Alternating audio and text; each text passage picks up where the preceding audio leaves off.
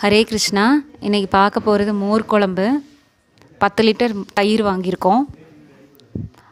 அரிசி கடலைப்பருப்பு இரநூறு இரநூறு கிராம் ஊற வச்சு இந்த மாதிரி எடுத்து வச்சுக்கணும். அதை நல்லா ஃபைன் பேஸ்ட் அரைச்சி இந்த மாதிரி பாத்திரத்தில் ஊற்றி வச்சுக்கணும். ஒரு லிட்டர் தயிருக்கு எட்டு டு பத்து மிளகா போட்டுக்கணும். பத்து மிளகா போட்டிருக்கோம். நூறு மிளகா. நல்லா ஃபைன் பேஸ்ட் அரைச்சிக்கோங்க இதையும்.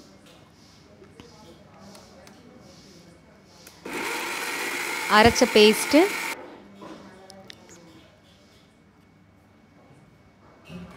அந்த அரிசி கடலைப்பருப்பு பேஸ்ட்டோடு சேர்த்து ஊற்றி வச்சுக்கலாம்.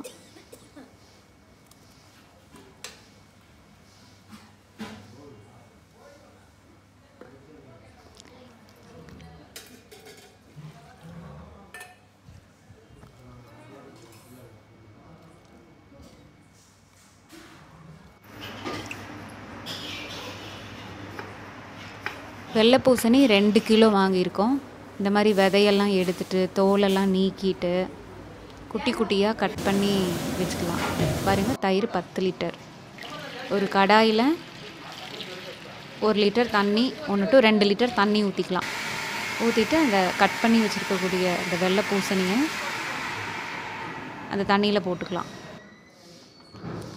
நாலு அஞ்சு ஸ்பூன் மஞ்சள் தூள்.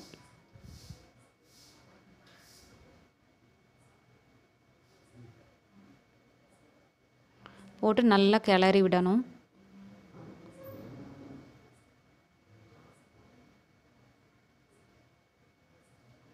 நல்லா கிண்டி விடணும். அப்போ தான் அந்த மஞ்சள் கலரெல்லாம் காயில் வந்து பிடிக்கும். நல்லா வேகணும். சீக்கிரமே வந்துடும் தண்ணி காய் ரொம்ப நேரம் ஆகாது. பாருங்கள் எடுத்து பார்த்தோன்னா இந்த மாதிரி காய் உடையணும். அது பார்க்கும்போதுமே தெரியும். நல்ல வெள்ளை கலராக இருந்தது. டிரான்ஸ்பரண்ட் கலராக மாறி இருக்கு இப்போது பாருங்கள் இப்போ அரைச்சி வச்ச அந்த பேஸ்ட்டு அரிசி கடலைப்பருப்பு மிளகா அந்த பேஸ்ட்டை வந்து ஊற்றிடும் தண்ணி வந்து கொஞ்சம் தாராளமாக ஊற்றிக்கலாம் ஒரு ரெண்டு லிட்டர் தண்ணி கூட ஊற்றிக்கலாம் ஏன்னா அரிசி கடலைப்பருப்பு இருக்கிறதுனால கொதிக்கும் பொழுது திக்கான கன்சிஸ்டன்சியாக மாறிடும் உப்பு அஞ்சு கைப்பிடி.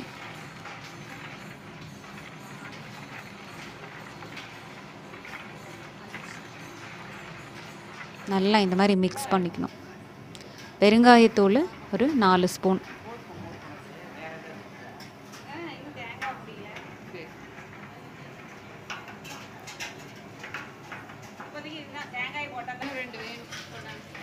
சீரகம் அரைக்கிறதுக்கு ஒரு இரநூறு கிராம் சீரகம். தேங்காய் பெரிய தேங்காய்னா நாலு தேங்காய். இந்த மாதிரி துருவி வச்சுக்கலாம். துருவிட்டு கொர கொரன்னு அரைச்சி எடுத்துக்கணும். சின்ன தேங்காய் இருந்ததுன்னா அஞ்சு தேங்காய்.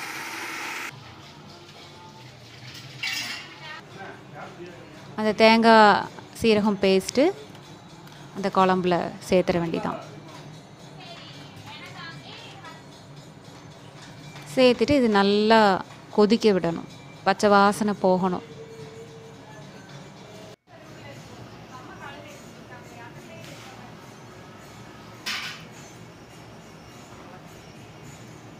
நல்லா கிண்டிக்கிட்டே இருங்க. ஏன்னா அரிசி கடலைப்பருப்பு விழுது இருக்கிறதுனால அடியில் பிடிச்சிரும். அடி பிடிச்சிரும். பாருங்கள் தண்ணி இந்த அளவுக்கு இருக்குது கொதிக்க கொதிக்க திக்காயிரும்.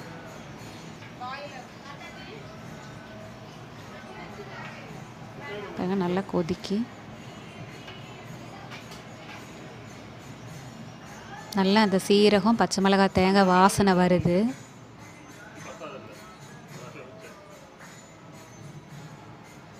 கொதிக்க ஆரம்பித்து ஒரு அஞ்சு நிமிஷம் கூட கொதிச்சா கூட போதும். அப்புறம் இந்த கடைஞ்சி வச்ச தயிரை சேர்த்துடணும். தயிரை சேர்த்த உடனேயவே ஸ்டவ் ஆஃப் பண்ணிடணும். ஏன்னா தயிரை சேர்த்த அப்புறம் நீங்கள் கொதிக்க விட்டிங்கன்னா திரஞ்சு போயிடும் பிரி பிரியாக ஆயிரும். குழம்பு டேஸ்ட்டு போயிடும் மோர் குழம்பு மாதிரி அது இருக்காது. பாருங்கள் சேர்த்தோன்னா இந்த மாதிரி கலர் கிடைக்கும். கன்சிஸ்டன்சி கிடைக்கும்.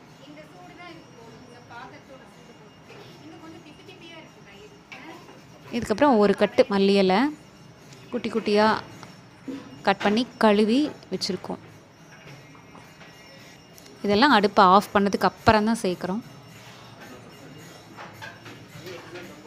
இது ரொம்ப ஈஸியான ரெசிபி சீக்கிரமே செய்யக்கூடியது. இந்த மோர் குழம்பு வந்து சப்பாத்திக்கு தொட்டுக்கலாம் இட்லிக்கு தொட்டுக்கலாம் இடியாப்பத்துக்கு தொட்டுக்கலாம்.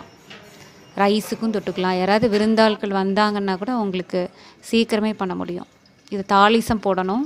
கடாயில் எண்ணெய் ஊற்றிக்கணும் அதில் ஒரு பத்து சிகப்பு மிளகா. நல்லா வறுக்கணும். ஒரு கைப்பிடி வெள்ளை உளுந்து உடச்ச உளுந்து. ஒரு கைப்பிடி கடுகு.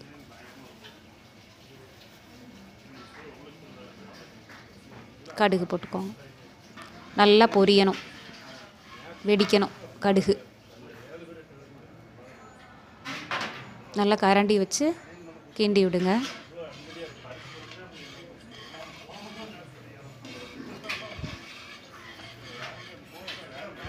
அதுக்கப்புறம் ஒரு நாலு ஸ்பூன் வெந்தயம். முதலே வெந்தயத்தை போட்டிங்கன்னா கருகிரும். அதனால தான் நான் பின்னாடி போடுறேன். பாருங்கள் மிளகா வறுத்துருச்சு. ஒரு ஓரமாக எடுத்து வச்சுருக்கேன் நான். நீங்கள் எடுத்து மோர் குழம்புல கூட போட்டுடலாம். தனியாக கூட எடுத்து வச்சு அப்புறம் மோர் குழம்பு போட்டுடலாம். பாருங்கள் இப்போ தான் நான் வெந்தயம் போடுறேன்.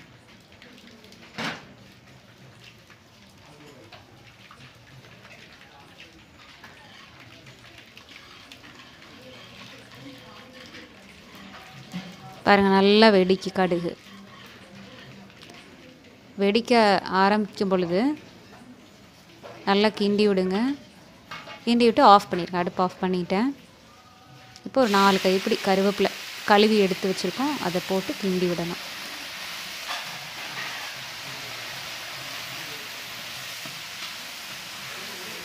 இது நல்லா அந்த சூட்டில் தான் அந்த கருவேப்பிலையை போட்டிருக்கோம். நல்லா வதங்கிட்டு. நல்ல வாசனை வருது. இதை அந்த மோர் குழம்புல எடுத்து ஊற்றிடணும் தாளிசம் பின்னாடி கடைசியாக இந்த மாதிரி போட்டால் தான் அந்த வாசனையோட மோர் குழம்பு இருக்கும். இதெல்லாம் தேவையில்லையா?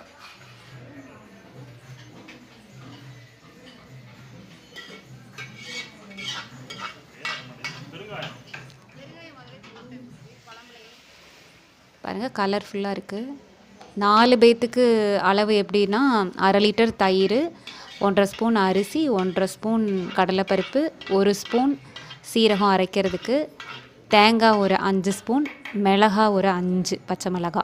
இவ்வளோ தான் ஹரே கிருஷ்ணா.